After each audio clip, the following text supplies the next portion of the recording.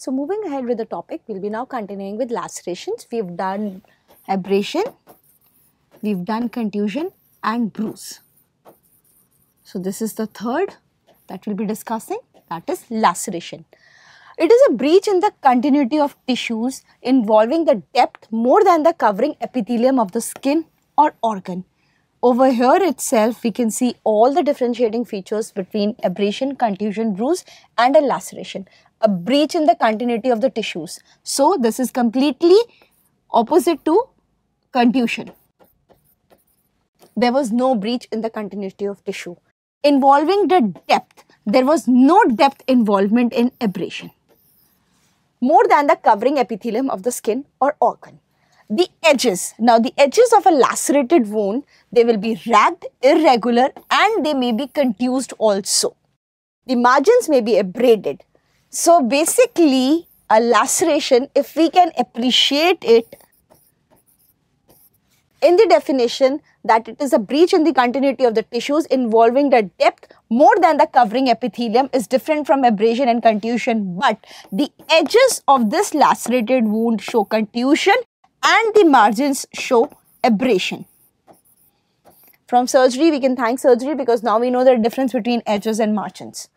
So deeper tissues are unevenly divided. There will be crushing of the hair bulbs and blood vessels and tissue bridging or tissue tags may be present.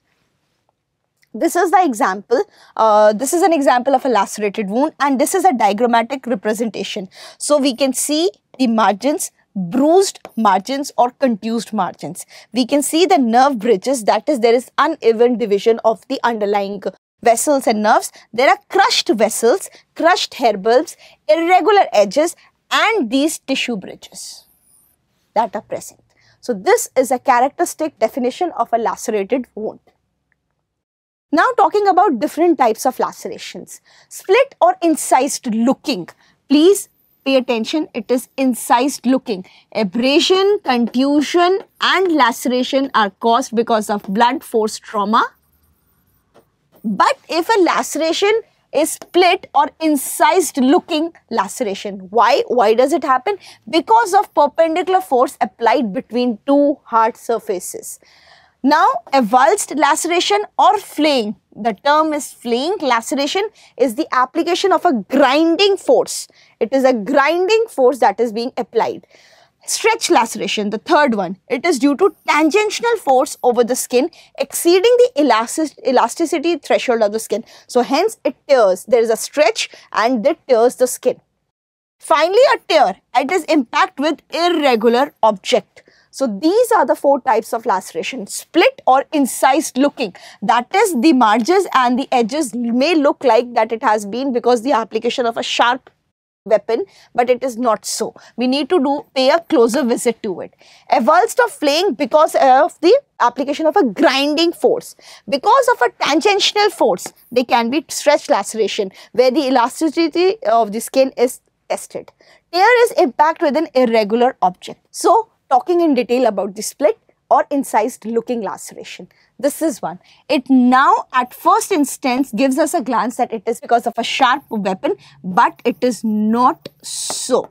It is a lacerated wound. Why do I say? Can you see the contused and the abraded margins and edges? Can you see the irregularity in the depth of the injury? So yes, it is definitely, it is incised looking, but it is not because of a sharp weapon. It is a lacerated wound caused by a blunt weapon.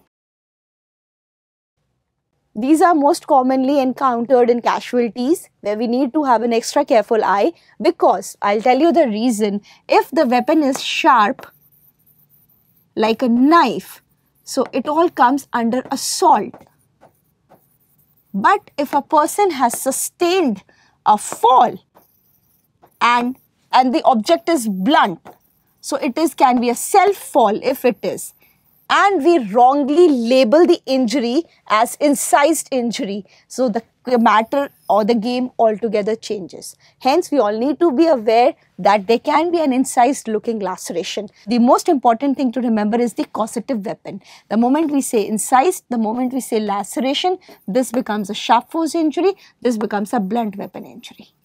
So we need to be extra, extra careful over here. A laceration of the forehead extending through the full thickness of the scalp with irregular macerated edges as discussed. Impact from a length of wood. This was basically a case in which with the wood, a wooden stick, it was an impact.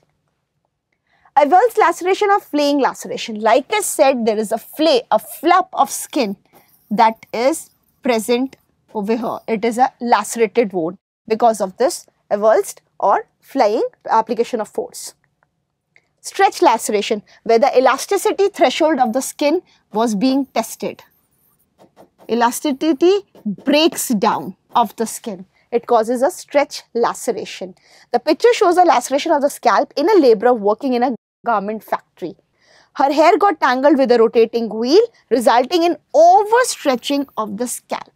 So, because of this force, there was overstretching of the scalp. This kind of a stretch laceration has taken place. We can appreciate the margins, irregular, contused and abraded over here mildly. The hair bulbs must be crushed. I am not sure if it is, it is appreciable in this photograph, but yes, the underlying hair bulb will be crushed. Medical legal importance of laceration. So, it, the probable type of weapon used can be talked about, yes. The time since injury cannot be estimated in lacerations. There is no definite pattern of healing in a lacerated wound. It depends on the site, it depends on the age, it depends on the immunity of the person. There are various factors which govern the healing in a case of laceration. So, the time since injury that we were discussing in abrasion and contusion is missing in laceration. Split laceration can be confused with incised wound. I cannot stress this enough now. Uh, moving on to questions. So, which of the following has only length and breadth? I've been saying definitely a, a stab wound has depth. A contusion has length and breadth definitely but only length and breadth no it is underlying so it does have depth Abrasion, yes, that's the correct answer. It is a two-dimensional injury where there is length and breadth and no depth. Lacerated wound, again, lacerated wound has a depth. So the answer to the question of which of the following has only length and breadth, the only two-dimensional injury in the given options is abrasion and ante-mortem abrasion is. So these are the types of questions in which we are very eager to answer. Most likely we will answer yellowish and translucent because we were looking for that word. But we will miss ante-mortem. These are the features of post-mortem abrasion. So while talking about this slide, I had emphasized on the words yellow, translucent and parchmentized in a post-mortem abrasion. In a post-mortem abrasion. So, the answer of ante-mortem abrasion is seen of the bony prominence. No, that is post-mortem abrasion. Bright reddish brown in color. Yes, it is. Scab is slightly depressed. No such thing.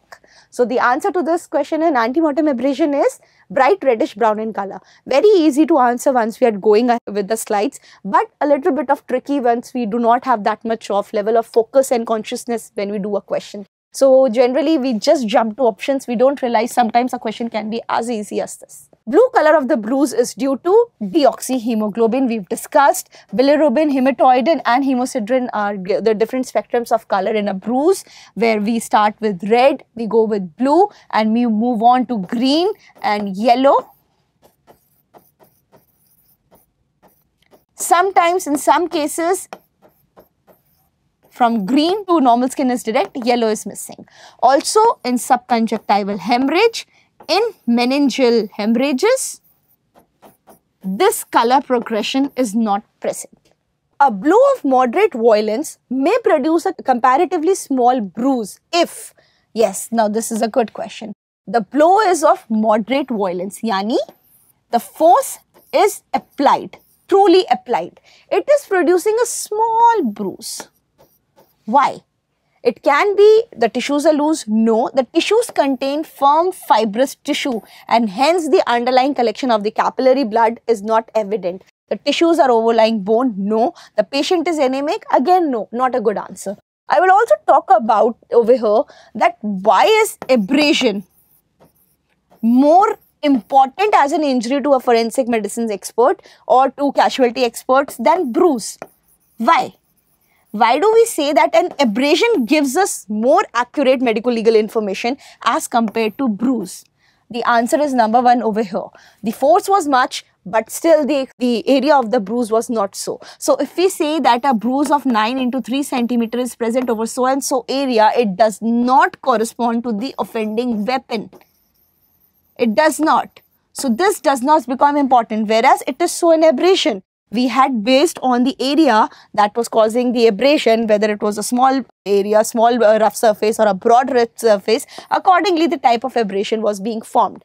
Secondly, a bruise might be a migratory or ectopic in nature. This was the first one. Second one, ectopic bruise or migratory bruise does not give a good information. That is the injury took place at point A and the bruise is appreciable at point B. So again the medical legal importance is lost over here. It is not so. The site of injury is the site of force applied to cause this injury. Next, direction of force. Like in abrasion, it talked about the direction of force is completely evident by the heaping or the collection of the epidermal tissue. It is not so in bruise. There is no heaping, there is no collection towards one end. So, direction of force can also not be commented upon. So, these are some of the points in which abrasion injury becomes way more important than a bruise injury. I like to take a break over here, then we'll continue further.